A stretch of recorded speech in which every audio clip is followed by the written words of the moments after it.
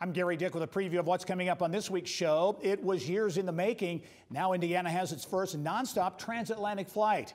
Leadership from the airport and city will share why the Indy to Paris destination is a big win for the business and leisure traveler statewide.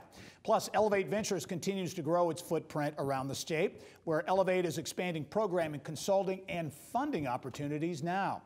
And opening weekend for the movie Columbus was a hit among Hoosiers. The mayor of Columbus joins us to talk about the film's impact beyond the box office. For showtimes in your area, just click on the link.